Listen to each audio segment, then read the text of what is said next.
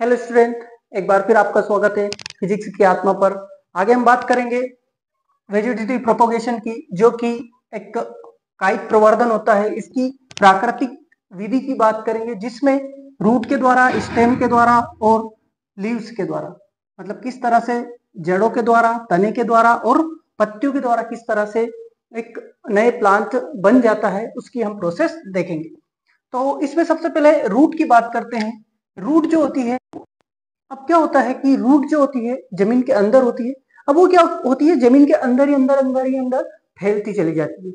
और फैल के जगह जगह पर एक नया नया प्लांट बनता चला जाता है।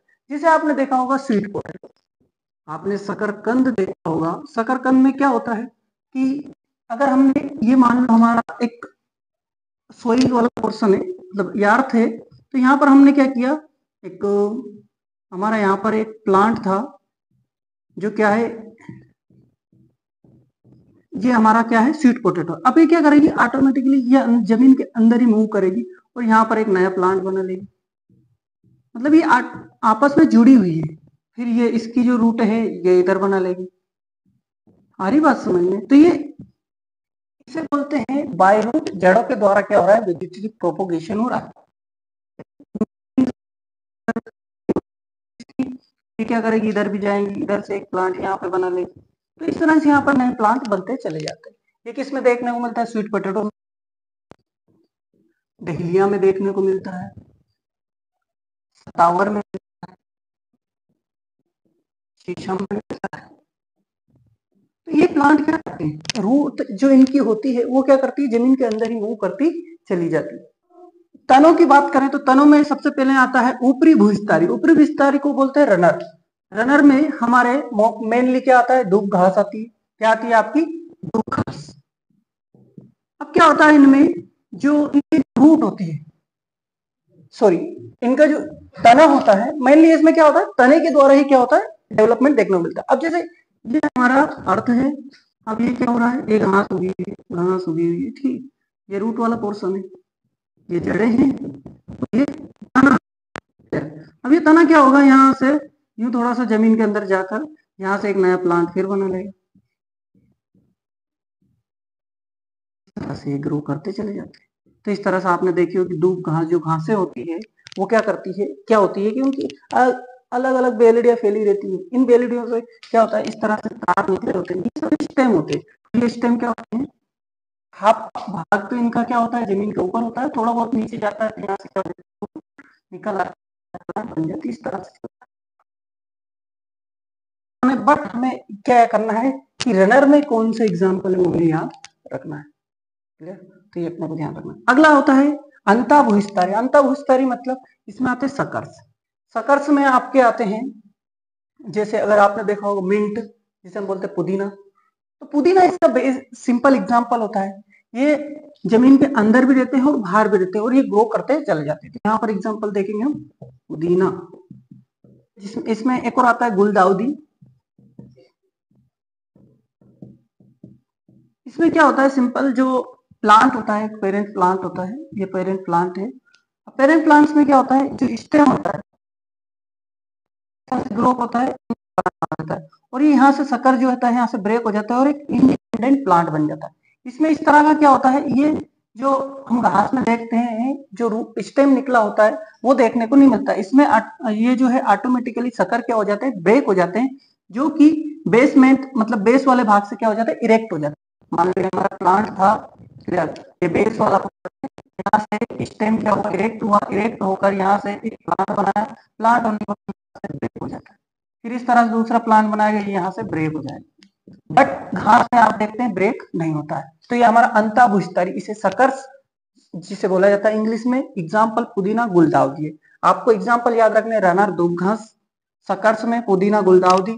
अगला आता है भूस्तारी भूस्तारी में आपका आता है ऑफसेट ऑफसेट आप देखते हैं मोस्टली वाटर में देखने को मिलता है।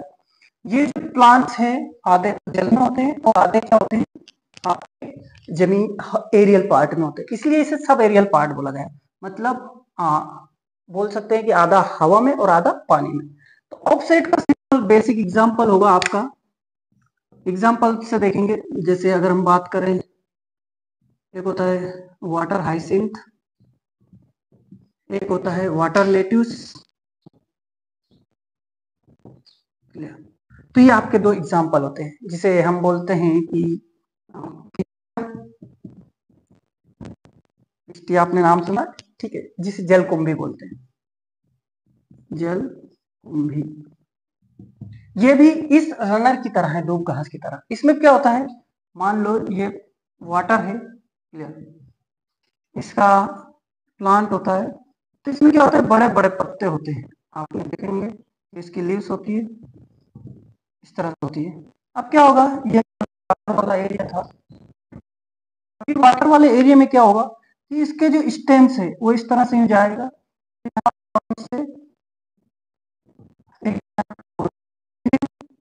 भाग जाएगा और यहाँ पर ये इस तरह से नया एक और प्लांट बना लेगा तो ये भी किसी तरह, किसकी तरह है? ये रनर्स की ही तरह वर्क करता है।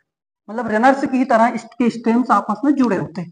इसे क्या बोलते हैं? ऑफसेट बोलते हैं। वाटर आइसिंथ को बंगाल का टेरर बोला जाता है। जब ये ग्रो करता है वाटर में, इतना रेपिडली करता है कि आप मतलब समझ नहीं पाएँगे कि ये जो है, जब ग्रो करते हैं तो एक ही दिन में पूरे जो तालाब होता है, उसको कंप्लीटली फैल जाता है। इसलिए इसे क्या बोला जाता है? बंगाल का टेरर टेरर ऑफ़ बंगाल तो बंगाल का टेरर इसे बोला जाता है। किसको बोला जाता है? वाटर हाइसिंथ को। क्लियर ये बात यहाँ तक समझ में आनी चाहिए। तो हमने अभी सब एरियल को देख लिया। बात कर रहे हैं अंडरग्राउंड की तो इसमें जो होता है, पहला आपका मिलता है राइजोम अब राइजोम में प्रकंद आता है, जिसमें आपका जिंजर आ जाता है। क्या आ जाता है? जिंजर जिंजर जो कि आपका अदरक होता है, वो ज़मीन के अंदर होता है। आपका टर्मेरिक हो जाता है। ये आपने देखे होंगे जब इनको लगाते हैं, अदरक को आपको ज़मीन में लगा देंगे, टर्मेरिक को अंदर, ज़मीन के अंदर लगाते हैं ये एक प्रकार के स्टेम्स होते हैं और ये ज़मीन के अंदर ही ग्रो करते हैं, इसलिए इन्हें क्या बोला गया है? प्रकंद बोला गया क्या बोला गया है? प्रकंद बोला गया अगला आता है आपका अरबी। अब अरबी कहाँ मिलेगी आपको? आपको जिमी कंद कहाँ मिलेगा? अरबी है, जमीकंद है, ये कोर्म होते हैं, ये कहा मिलेंगे? घनकंद बोलते इन्हें ये ज़मीन के अंदर ही मिलते हैं, इसलिए इन्हें क्या बोला गया? अंडरग्राउंड बोला गया। अगला आता है ट्यूबर ट्यूबर में मोस्टली क्या होती है? बड होती है। अब आपने आलू देखा है। आलू का हम क्या, कौन सा पार्ट खाते हैं? जो कि आपका स्टेम वाला पार्ट होता है। स्टेम में क्या निकली होती है? बर्ड्स निकली होती है। ये बर्ड्स क्या होती है? हर बर्ड्स से एक प्लांट बन सकता है। क्लियर तो यहाँ पर हम देखेंगे पोटेटो आलू जो है, वो आपको मिलेगा। क्लियर ये ट्यूबर में आता है। अगला आता है बल्ब अब बल्ब में आपको गार्लिक मिलेगी। कौन मिलेगा? गार्लिक। अरे, लहसुन। आपको ओनियन मिलेगा। आपका प्याज। क्लियर। तो बल्ब, इनके अलग अलग कलिकाएँ होती है। कलिया निकली होती है इनमें? क्या निकली होती है? कलिया। ये कलिया क्या होती है? अब अगर हम इसकी कली को कहीं पे लगा देंगे गार्लिक की तो ग्रो करके नया प्लांट बनेगा ऐसे किसमें देखने को मिलता? है ओनियन में भी देखने को मिलेगा। तो यहाँ तक हमने बात की राइजोम कोर में ट्यूबर बल्ब की। अब बात करते हैं एरियल पार्ट की।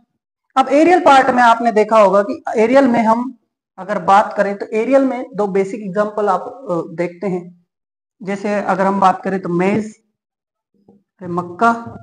मक्का देखिए आपने। गन्ना देखा है। सुगर केन अगर आप इसको कहीं से ये इस तरह होते हैं, ठीक है, ये नोट्स निकले होते हैं। क्लियर अब इसमें क्या होता है? जगह जगह से यहाँ से रूट्स निकल जाती है। यहाँ से निकल जाती है।